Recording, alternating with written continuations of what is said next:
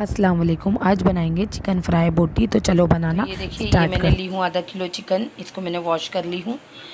अब इसमें डालेंगे हम लोग लहसुन ये एक गट्टी लहसुन ली हूँ मैंने और इसको बिना छीले ली हूँ। अगर आपको छील के लेना है तो आप छील के लो पर इसके बिना छीले बहुत टेस्टी लगता है ये।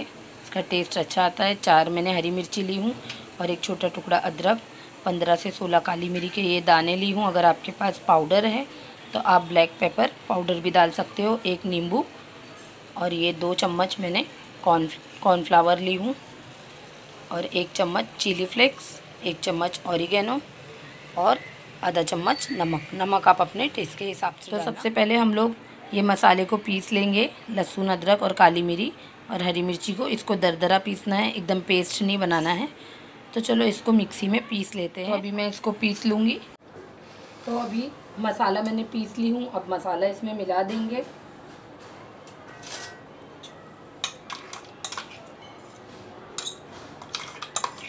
ये सारा मसाला मैं इसमें डाल दूँगी। और इसमें डालेंगे ये कॉर्नस्टार्च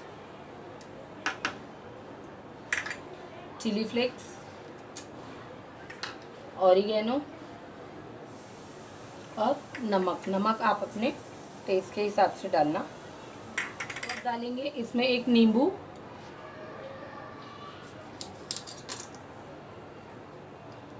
ये इस तरह से नींबू को निचोड़ेंगे हाथ रख के तो सारे बीज हाथ में ही रह जाएँगे। ये मैं पूरा अक्खा डाल रही हूँ अगर आपको। आधा डालना है तो आप आधा भी डाल सकते हो।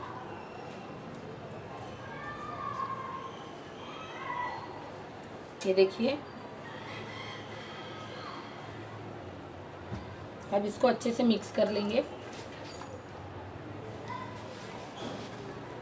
ये इस तरह से अच्छे से मैरिनेट करके आधा घंटे के लिए रख देंगे। फ्रिज में या ऐसे ही ढक के भी रख सकते हैं।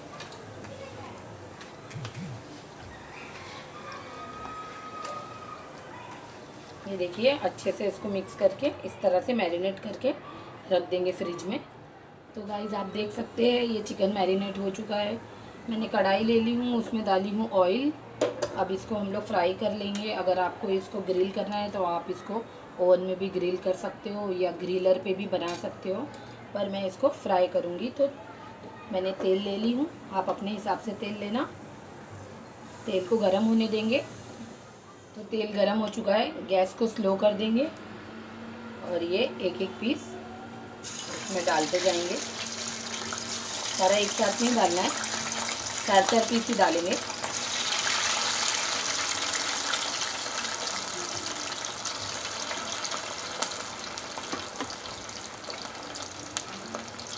एकदम डायरेक्टली नहीं इसको टर्न करेंगे। जब तक ये नीचे से अच्छा पक जाएगा, उसके बाद में टर्न करेंगे इसको। और बार बार चम्मच नहीं लगाएँगे। अब इसको एकदम हल्के हाथ से टर्न करेंगे। एकदम ध्यान से। देखिए एकदम इजली टर्न हो जाता है ये। ये देखिए। अब इसको भी छोड़ देंगे, अच्छे से पकने देंगे इसको। एक बार फिर से चेक कर लेंगे। ये देखिए, अभी नहीं हुआ है ये। अच्छे से इसको गोल्डन होने देंगे, फिर उसके बाद में निकालेंगे। तो ये रेडी हो चुका है, अब इसको निकाल लेंगे।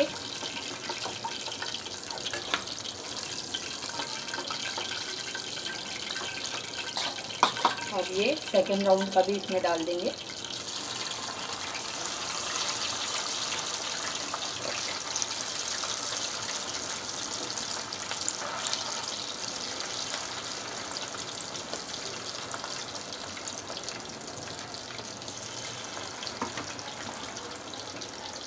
अब इसको उसी तरह से फ्राई कर लेंगे। इसी तरह से सारे चिकन फ्राई कर लेंगे। ये देखिए सेकेंड राउंड का भी ये हो चुका है।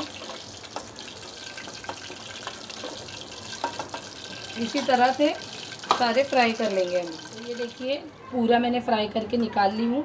अभी इस पर थोड़ा सा हम लोग चाट मसाला डालेंगे। ये थोड़ा सा चाट चाट मसाला डाल के इसको टॉस कर लेंगे। चाट मसाला डाल के, ये देखिए। अब इसको एक प्लेट में निकाल के मैं इसकी प्रेजेंटेशन करूँगी अच्छे से। ये देखिए, ये मेरी प्लेट रेडी हो चुकी है। तो चलो मिलते हैं नेक्स्ट रेसिपी में।